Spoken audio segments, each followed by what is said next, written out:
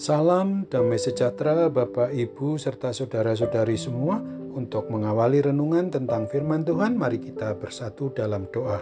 Tuhan Allah Bapa di surga yang melebihi segala akal, hati, dan pikiran kami manusia, berfirmanlah kepada kami sebab kami bersedia untuk mendengar dan mampukan kami atas pertolongan roh kudus melakukan firman-Mu itu dalam hidup sehari-hari. Dalam nama Tuhan Yesus kami berdoa. Amin. Nas renungan firman Tuhan hari ini diambil dari Mazmur 46 ayatnya yang kedua yang berbunyi Allah itu bagi kita tempat perlindungan dan kekuatan sebagai penolong dalam kesesakan sangat terbukti. Sebagai tema yang diangkat dari nas renungan kita adalah Tuhan Yesus tempat perlindungan, kekuatan, dan penolong dalam kesesakan kita.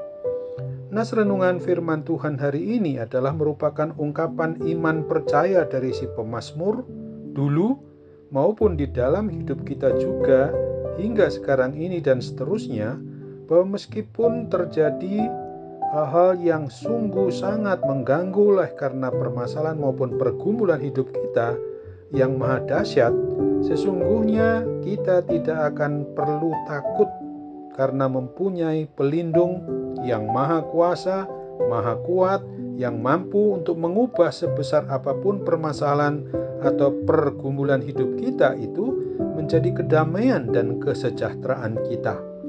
Nas renungan firman Tuhan hari ini juga mau mengungkapkan hal yang sangat begitu indahnya bagi kita yang bisa dan dapat menguatkan iman percaya kita kepada Kristus Yesus Tuhan kita itu yang tetap ada hadir melalui Roh Kudus di hati kita agar tidak perlu adanya ketakutan pada waktu atau saat datangnya permasalahan atau pergumulan hidup kita dan malapetaka apa pun juga bentuknya berat ataupun ringan yang melanda kita karena kita mempunyai pelindung yang maha kuasa yaitu Tuhan Allah Bapa kita yang kita sebut Bapa di dalam Tuhan Yesus Kristus dan dalam persekutuan Roh Kudus. Marilah kita ketahui bahwa yang menjadi kunci atau syarat di dalam keyakinan iman percaya kita kepada Kristus itu adalah bahwa kita secara total mau menyerahkan seluruh hidup kita hanya untuk berlindung kepada Tuhan Yesus Kristus sendiri saja, tidak kepada berhala-berhala apa pun dan yang lain-lainnya lagi pun tidak. Hendaknya seluruh keberadaan kita, baik itu hati, jiwa, maupun akal budi kita, hanya mau berfokus dan berpusat kepada Tuhan Yesus, serta kita hanya mau mengandalkan dirinya, bukan untuk berfokus atau berpusat kepada kemampuan atau pendewaan diri kita sendiri lagi, dan bukan pula pada orang kuat atau dukun atau orang pintar, bukan pula pada ilah-ilah lain di dunia ini, serta bukan berfokus atau berpusat pada permasalahan atau pergumulan yang menakutkan yang sedang kita hadapi itu lagi. Sesungguhnya dengan demikian, maka pasti Tuhan Yesus Kristus akan melindungi dan meluputkan kita dari segala bencana, atau kecelakaan yang bersifat rohani maupun yang bersifat jasmani kita.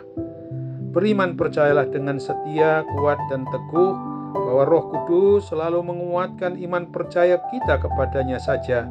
Dia pasti membimbing jalan hidup kita untuk membuat kita tetap selalu menempuh hidup ini pada jalannya, pada hidup yang seturut dengan kebenaran dari firman atau perintahnya, dan juga mampu mempergunakan hidup kita dalam segala waktu yang kita tempuh itu untuk menyembah, memuji, dan memuliakan namanya yang maha kudus itu saja.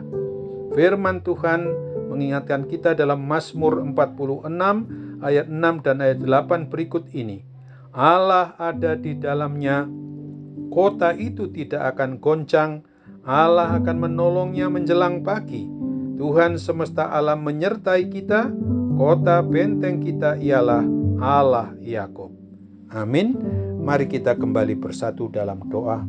Tuhan Allah Bapa di surga, terima kasih untuk firman-Mu yang boleh mengingatkan kami bahwa Dikau Allah yang maha tinggi yang menjadi manusia di dalam Yesus Kristus yang adalah Tuhan dan Juru Selamat kami manusia yang tetap hadir dalam roh kudus di hati kami masing-masing orang yang beriman percaya kepadamu untuk membuat kami dan menyadarkan kami tetap berserah secara total kepadamu saja sehingga kami dapat hidup dalam damai sejahteramu saja.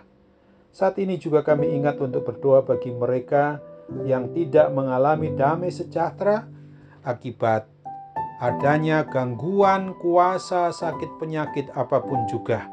Terlebih karena gangguan wabah atau pandemi COVID-19 sekarang ini. Oh Tuhan, campur tangan atas sarana perawatan, dokter, para medis, dan obat yang digunakan melalui diagnosa mereka untuk memungkinkan mereka dapat mengalami mujizat kesembuhan yang daripadamu saja Bapa. Sekarang ini kami mau bersembah sujud, memuji memuliakan namamu. Kehendakmu lah yang harus jadi, bukan kehendak kami.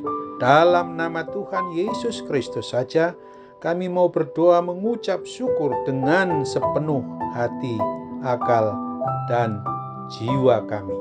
Amin.